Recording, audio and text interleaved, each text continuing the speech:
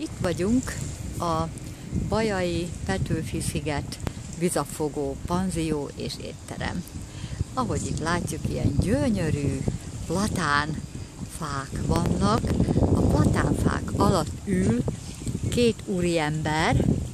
Ezek az úriemberek most éppen emésztenek, mert nagyon sok finomságot ettek, innen körülbelül egy 20-25 kilométerre lévő nagybaracskai bárkacsárdában.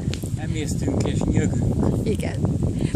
Hátra nézünk, akkor ott a terasz, a teraszon ültünk mi is, és ott kávéztunk, itt pedig oldalt van ez a bejárat, panzió bejárata, és itt áttekinthetünk a Sugovica, azt hiszem jól ejtem a csatornának a nevét túloldalára, és szemben a, más, a sziget másik része, ahol kemping van.